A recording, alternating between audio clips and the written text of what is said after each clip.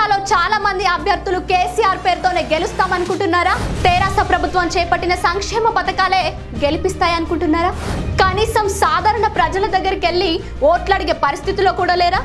అంటే అవునని సమాధానం చెప్తున్నారు సామాన్య జన. ఓట్ల పండుగ ఇంకా ఎంతో దూరంలో లేదు. ఇంకా సందర్శించాల్సిన గ్రామాలు చాలానే ఉన్నాయి.